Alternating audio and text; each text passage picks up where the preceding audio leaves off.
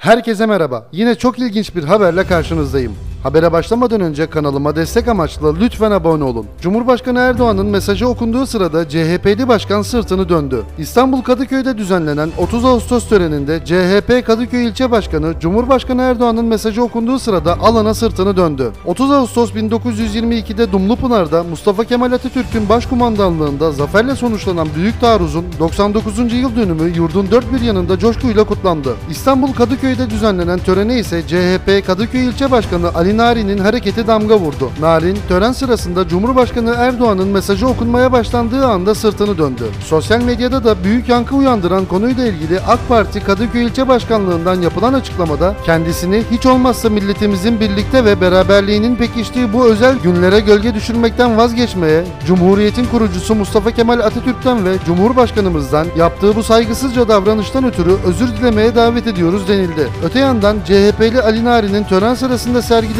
bu tutum sosyal medyada da büyük tepki çekti. Peki siz bu haber hakkında ne düşünüyorsunuz? Lütfen yorumlar kısmından bizimle paylaşın. Bir sonraki videoda görüşürüz. Şimdilik hoşçakalın.